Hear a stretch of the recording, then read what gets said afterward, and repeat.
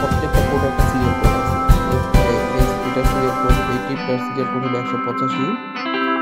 তো ডিসক্রিপশনে দেখেন ডিসক্রিপশনে অনেক কিছু দেওয়া আছে এখানে। তারপরে caption যে কোনো caption আছে, আমরা এটা দেখব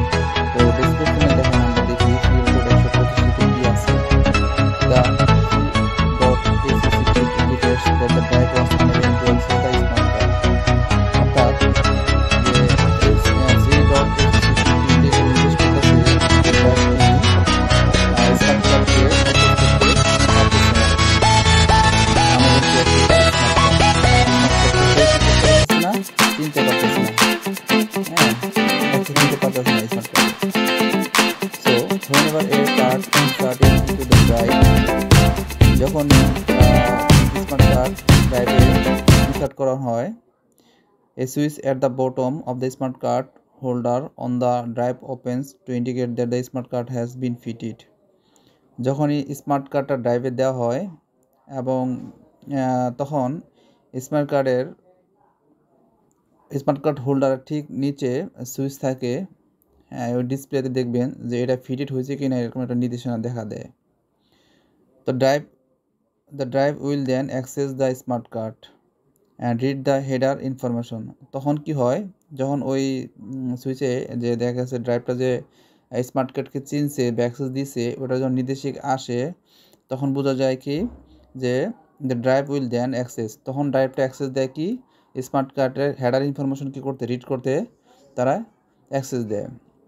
The drive the header includes information about the product type that the smart card is associated with অর্থাৎ স্মার্ট কার্ডের সাথে যুক্ত সকল কিছু হেডারের হেডার থেকে ড্রাইভ নিয়ে নেয়।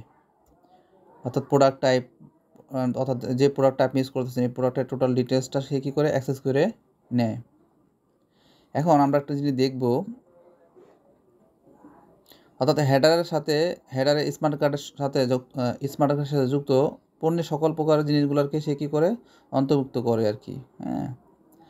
তারপর আমরা যদি নিচে আসি, দেখেন the this trip will walker if one of the following is true অর্থাৎ এখানে চারটা আছে।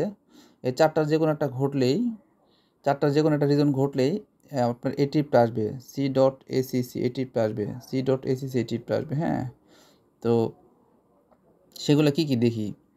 ফার্স্ট ওয়ান হইল a smart card is inserted incorrectly অর্থাৎ স্মার্ট কার্ড যদি আপনি সঠিকভাবে যদি ইনসার্ট না করতে পারেন, অর্থাৎ প্রবেশ না করাতে পারেন such as that the gold contacts on the smart card do not line up with contacts in the smart card read on the drive অর্থাৎ স্মার্ট কার্ডের ভিতরে একটা গোল্ড কন্ট্রাক্ট আসছে। ওই কন্ট্রাক্টটা যদি ঠিকভাবে যদি স্মার্ট ড্রাইভের সাথে যদি ইনসার্ট না করানো হয়, অর্থাৎ এখানে কন্ট্যাক্ট পাবে। এখানে গোল্ডের যে কন্ট্যাক্ট পয়েন্ট আছে, এটা ড্রাইভের সাথে ড্রাইভের যে স্লট আছে, এই স্লটের সাথে যদি না লাগে এবং ঠিকভাবে যদি কন্ট্যাক্ট না পায়, তাহলে কি করবে? যে এই ইরোডটা আসবে। হ্যাঁ? তাহলে smart card is inserted incorrectly first অর্থাৎ ইনকারেক্টভাবে যদি আপনি স্মার্ট কার্ড প্রবেশ করান, তাহলে এটা কি করতে পারবে? কি করবে? এরো, এই এরোটা আসবে। Second one is that a faulty card or a card with damage অর্থাৎ দেখা যাচ্ছে একটা পুরো খারাপ কার্ড ভালো না, ওটা ড্যামেজ হয়ে গেছে গা। তো ইনসার্টেড ইনটু দ্য ড্রাইভ যখন ড্রাইভের ভিতরে ঢুকাবেন, তখন এই ধরনের ফল্ট আসবে।